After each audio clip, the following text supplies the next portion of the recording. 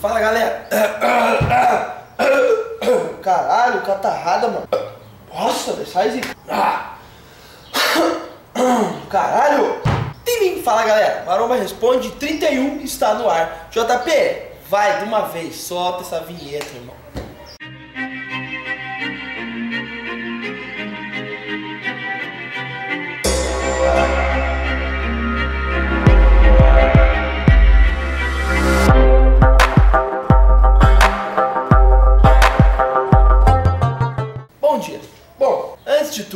Quero estar dizendo para vocês que dia 31 agora estarei na Expo Nutrition. Eu, Léo Araújo, Jason, a gente vai estar tudo junto lá fazendo um fervo. Então, se você quer nos conhecer, quer fazer parte desse, dessa doideira, quer conversar com a gente lá na feira, quer dar um rolê com a gente, fazer um fervo, trocar algumas ideias, é, tirar uma foto, tirar um. É, nossa, tirar! Pegar umas informações sobre o projeto do Léo, várias coisas aí, a gente vai estar lá fervendo os três dias. Então, cara, tô com uma catarrada, meu Deus do céu, velho. Que, que, que isso, mano? Ah, sai, Zica.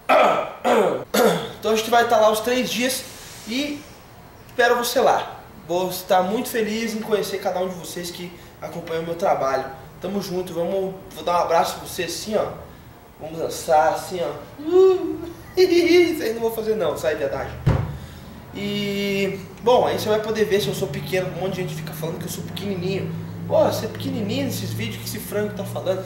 Então, meu irmão, você vai poder ver esse caralho aqui, meu irmão. Você vai tá pequeno essa porra aqui. Ha! Essa catarrada tá foda. Meu irmão, entra lá, por favor, se você acompanha meu trabalho e me dá uma força. Na moral, tem um polegarzinho ali, ó, dá uma curtida, compartilha no seu, no seu Facebook esse vídeo. Me segue também no Instagram, vai lá, Felipe88 Marins, JP, põe lá, Felipe88 Marins, dá aquela paradinha clássica, que elas gostam da paradinha, não adianta você meter o mesmo ritmo toda hora, então você tem que dar uma paradinha de vez em quando, dar aquela rebolada, daí deixa. Olha que merda que eu tô falando. Bom, põe aí, JP, Felipe88 Marins, bom, passou, é isso aí. Segue lá no Instagram pra você estar acompanhando mais de perto o meu trabalho, tô sempre postando algumas coisas lá. Bom, vamos para a primeira pergunta, logo de uma vez. Felipe, é legal tomar suplemento no lugar da refeição? Meu trabalho é corrido e não tenho tempo. Pergunta é do Cleiton Gabriel, de Curitiba, Paraná, aqui da minha cidade. Bom, Cleiton, irmão, o ideal sempre vai ser você fazer uma refeição sólida. Isso daí é clássico. O ideal sempre é você comer. Suplemento é para justamente nesses, nessas situações, quando você não tem como você comer. Mas é quando você não tem como comer mesmo, cara. Não tem outra opção, aí você suplementa.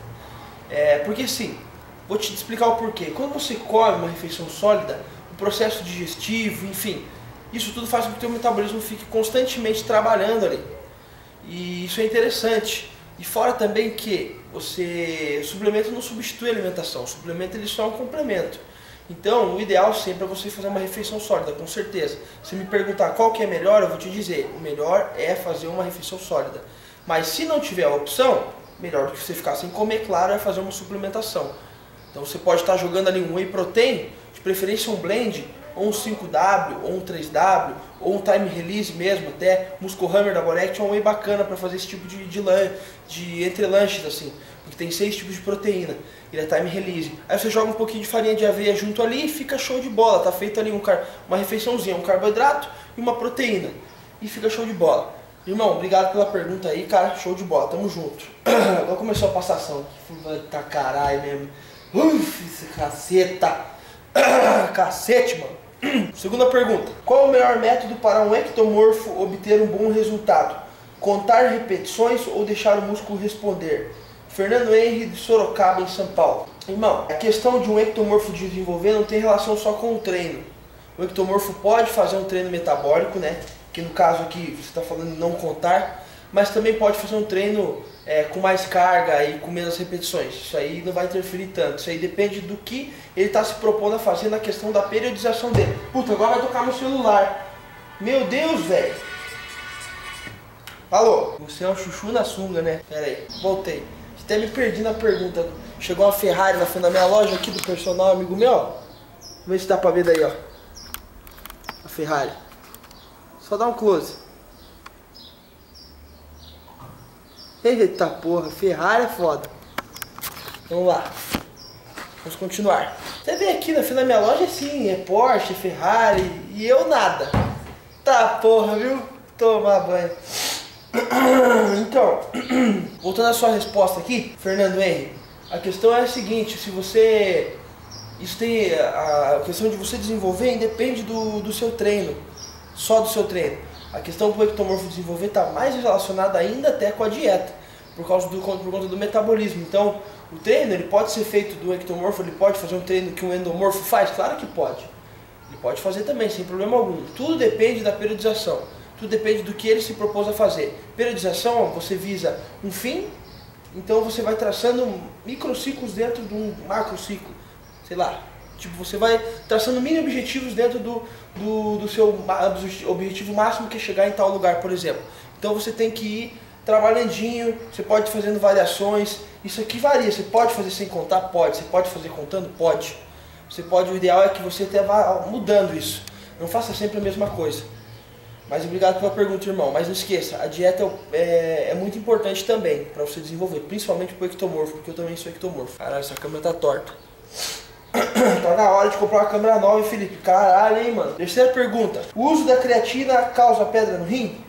Pergunta do Daniel Michaels, de Toledo, Paraná. Causa pedra no rim. Se você tomar um quilo por dia, você vai ter pedra no rim.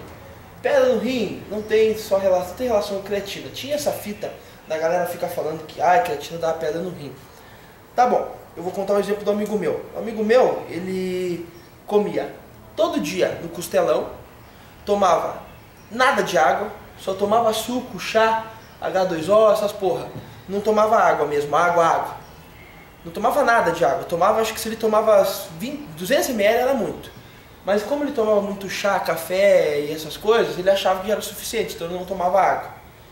É, ele comia só comida condimentada, de, de enlatado, comida de restaurante, no costelão todo dia americano, hambúrguer, pão de queijo, todos os dias. Todo dia. Eu via ele comendo isso. E aí aconteceu. Um dia ele começou a tomar creatina. Para de tocar celular, vou te tacar na parede. Ele começou a tomar creatina. E aí, pô, ele teve pedra no rim. Só que, cara, é lógico que não foi por causa da creatina. A creatina potencializou, pode ter dado um start ali naquilo? Claro que pode. Porque ele já não tomava água mesmo. Então, só que ele já estava com maus hábitos há muito tempo. Então, o que ocasionou a pedra dele, com certeza, foi os maus hábitos, não foi a creatina. Eu tomo creatina há muito tempo e nunca tive problema. Tenho amigos meus que tomam há muito tempo, mais do que eu, e nunca tiveram problemas. Conheço muitas pessoas que tomam muito mais creatina do que eu até e também nunca tiveram problema. A diferença é que eu tomo no mínimo 4 litros de água por dia.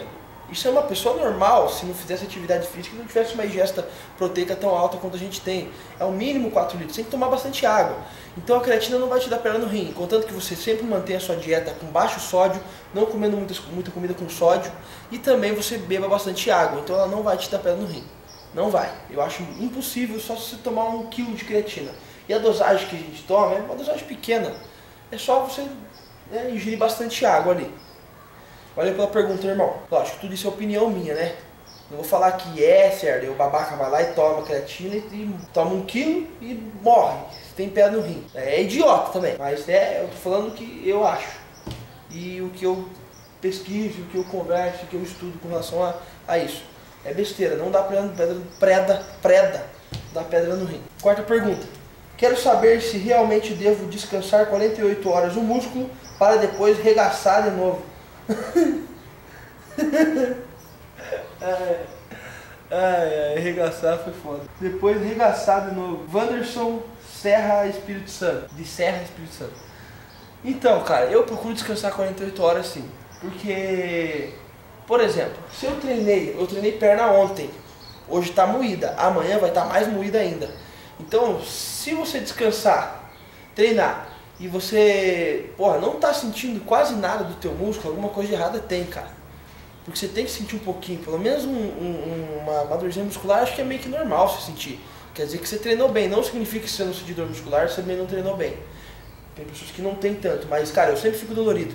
E tipo assim, 48 horas depois, às vezes eu ainda tô dolorido, cara.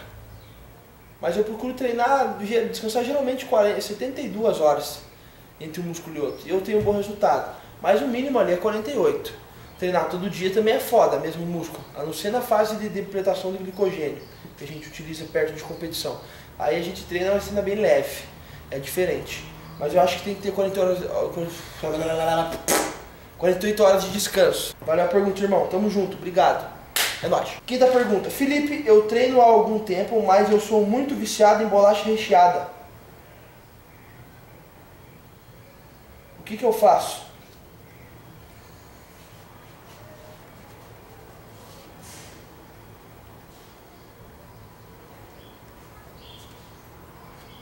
Tá aí sua resposta. Brincadeira. Não sou tão pau no cu assim não. Cara, olha só, mano. Você é marombeiro, irmão. Você não é mais criança, você não é mais. A não ser que você tenha 3, 12, 13 anos, cara. Você que fez essa pergunta aqui. De Londrina, Paraná, Augusto Rafael. Vou falar seu nome aqui, se fudeu. Cara, bolacha recheada é coisa de criança, irmão. Para com essa porra aí, velho. Você, não, você, você fala pra tua mãe esquentar um Nescauzinho pra você ainda também, né? Tua mãe esquenta o Nescauzinho assim, você, mãe, quero Nescau. Aí ela vai lá, esquenta o Nescauzinho assim, ai filhinho, tá aqui o Nescau. Aí traz o Nescauzinho quentinho, você, ai, segura o Nescauzinho, pega tua bolachinha, abre assim, mergulha no Nescau assim. Ah, para com essa porra aí, mano, viciar em bolacha recheada do cacete, mano. Se você quer desenvolver, esquece bolacha recheada, meu irmão. Pega no teu dia do lixo, come ali um pacotinho de bolacha recheada, então. Vai ficar comendo todo dia bolacha recheada, caralho. Isso aqui é o quê? Aí você não quer nada também, né? Não vai desenvolver nunca. Né? O que que eu faço? Eu acho que você deve fazer, sabe o que você deve fazer? Tomar vergonha na cara. Você pega essa porra dessas bolachas e taca fogo. Faz que nem eu, mano, fiz um dia. Eu tava, comprei marshmallow, tinha marshmallow lá em casa. E eu, eu em dieta pra competir. E eu tava, nossa, num desespero pra comer aquela porra, mano. Eu olhando aqueles marshmallow. Eu não ia comer, lógico, que quando a gente é foca, tá focado, a gente tem um objetivo, a gente não erra. Eu não erro mesmo, cara, eu sofro, mas não erro. Aí eu peguei aquele pacote de marshmallow, falei, quer saber, mano? Eu abri ele, tirei o tenório pra fora e mijei lá dentro. Mijei dentro do pacote de marshmallow. Eita, daí não tem perigo de eu comer aquela porra lá. tava sozinho em casa, não tinha ninguém pra dar. Meu cachorro não gosta de marshmallow. Meu cachorro só gosta de gema de ovo. Meu cachorro gosta de gema. Aí Dei mijei dentro, daí lógico eu não vou comer, mijei da chacoalhei, assim, tic, tic, o pacote assim, é, joguei na rua, foda-se, é, é assim que você tem que fazer, mano. Aí mije no pacote de bolacha, que daí não tem perigo. Ou passa na bunda, pega umas bolachas e passa tudo na bunda, assim, ó. Passa na bunda e joga no chão. Ou dá pro teu cachorro.